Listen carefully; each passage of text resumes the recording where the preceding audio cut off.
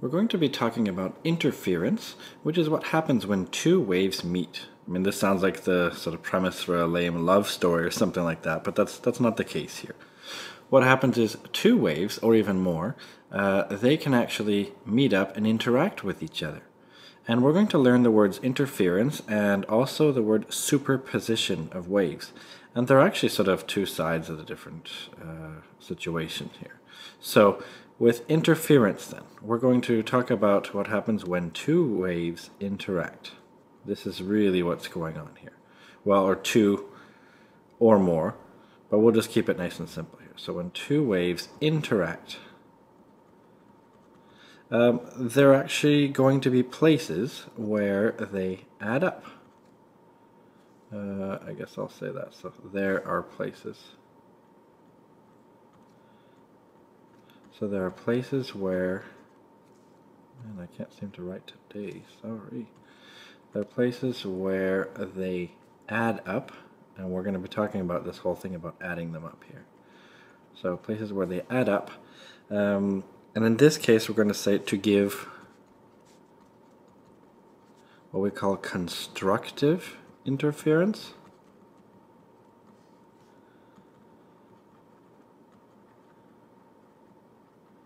and also place where, uh, so that's going to be where they have a maximum intensity. And there's going to be places where they give destructive interference, we're going to call it.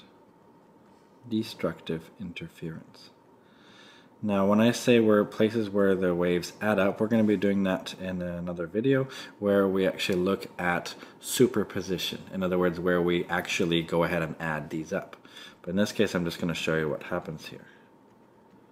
So we have constructive interference or destructive interference. Constructive is where they add up to give you a maximum intensity. Destructive is where they add up to give you uh, a minimum intensity. So this is the this is sort of the, the key idea here.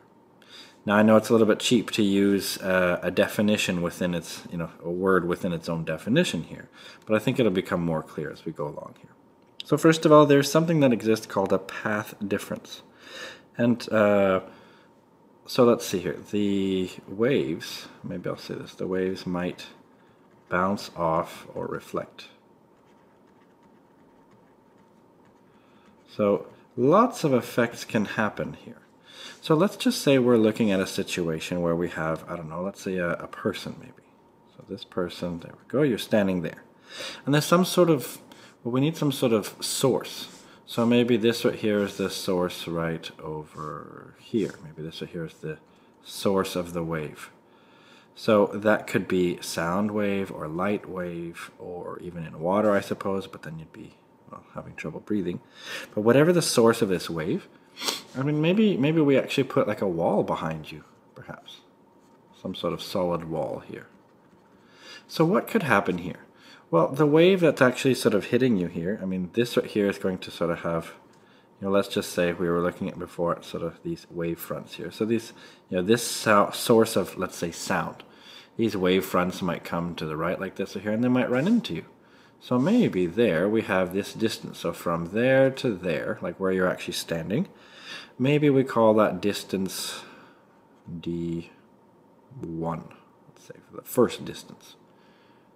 But now, of course, what might happen is this light uh, or sound or whatever it was might have also, I mean, maybe it actually reaches you directly here, so from here to here, but maybe it also goes ahead and bounces off the wall and comes back to you. So maybe, for example, um, it also went sort of off the wall, bounced, you know, sort of came back and then ran into you. So that might seem a little bit complicated here because what actually happened then in that case is it went basically this distance right here and then plus this distance right here. Okay, so we're going to call that distance, uh, in this case, d2. We can call that that sort of the distance that it traveled here, so d2.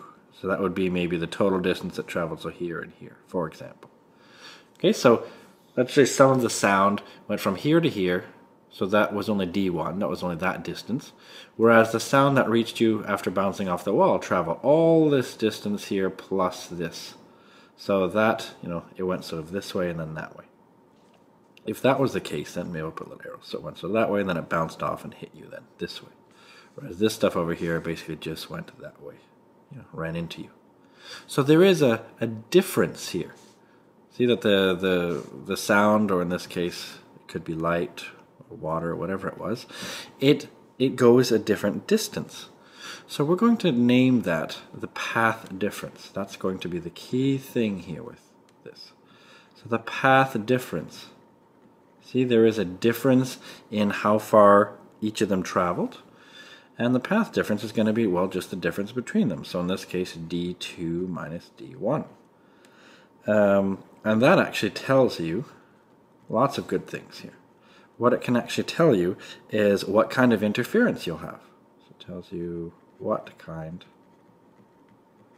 of interference you will have. Oops. Go, just got to write properly here. I got to learn how to talk and write at the same time. Apparently I'm having trouble here. So the path difference tells you what kind of interference you will have. And so we have those two main types we talked about before. We have constructive or destructive. So let's see then, using this same idea here of this path difference, let's see then what we have for constructive interference. Well, that is when the path difference, remember that's what this is. This right here, that's the, that's the path difference. So always using that same last picture, always using this idea here that it travels a different path. So maybe it gets to you this way and maybe it gets you from bouncing off, whatever the case may be. If you have a path difference here, well then, knowing what that path difference equals, then it'll actually tell us something. So if it's equal to n lambda, okay, this right here, then we're going to have what we call constructive interference. Now you might wonder what do we mean by, uh, well first of all lambda. Lambda is the wavelength of the light, or the sound, or whatever it is you're looking at, but still measured in meters. n, now this is important, this is just some positive integer. So some positive integer, it could be 0, 1, 2, 3, 4, dot, dot, dot. We don't count negatives though. It has to be a positive or 0. So n here can be 0. So if you made it 0, that means if the path difference is equal to 0, well then you have constructive interference. You're going to have a maximum intensity. This is really what this means here. This right here means a maximum intensity because these two waves are going to end up sort of interacting with each other. See the waves back here in this picture? This wave here, let's say this blue one, and this red one, they will actually interact with each other. They'll interact with each other to give you a maximum. So that's what we call this constructive interference. That's this one here. So a maximum intensity happens when uh, this is the case. So for example, we could say that d2 minus d1 can equal um, lambda. That's when n was equal to 1. See that? Because if you make this 1, then that works. That works. That gives you a maximum. But what about when it equals 2 lambda, or 3 lambda, or 4 lambda? Those all work. You can see clearly that n is 2, n is 3, n is 4. These are all different cases that will give you a maximum. We could also say that path difference equals 0. That's also the case. I mean, if the path difference was equal to 0, you could say, well, that's when n was equal to 0. That also works. So this gives you a maximum intensity. We have something called destructive interference, and I guess you can probably figure it out. When we have a minimum intensity. Now this happens at a different sort of situation here. That's when the path difference, remember that's what this means, that's the path difference so when that equals, now this time it can't be just n lambda, it turns out it has to be half integers. So we're going to say n plus a half times lambda. That's the key thing with this. And again, remember, lambda is the wavelength. That's still the case, which is in meters. And we still have that n equals an in, a positive integer. So in this case, we're going to say 0 or 1 or 2 or 3 dot dot dot. So for example, what if d2 minus d1 equals well, 0.5 lambda? That's what 1 half is. That's if we made n 0, because 0 plus a half is just 0.5, so 0.5 times lambda. So that's if we made n equals 0. That gives you a minimum. In fact, we say that gives you the first minimum. But it could also be 1.5 lambda. how did we do that? Well, we make n equal 1. Or it could be 2.5 lambda. That's if we make n equal 2. Or it could be 3.5 lambda. I think you get it, right? This could be anything. So this is how this works here. This is how the path difference works. But I think it might be nice to show you a more visual example of this. So let's actually go ahead and open up a PHET animation. We'll look at water here, and I've got these water droplets hitting fairly fast. And we've seen this sort of thing before. Well, that's just with one thing. So let's do two drips. So now I've got two sources, which means these waves interact. Now it's a bit complicated looking because look at all this crazy stuff that happens. I mean, I could actually use a detector here and actually throw in a detector. Um, and what I do is I have to place my little thing. So let's say right here you can see that there's sort of dark and light spots. So you can see these sort of things oscillating a lot. But what if I put it, see this little sort of shadowy area? Can you sort of see these areas right here and right here and right here? Those, like there, for example. Notice how it doesn't change much? So what's actually happening is here, this is a place of maximum intensity. I mean, this is the place where it changes the most.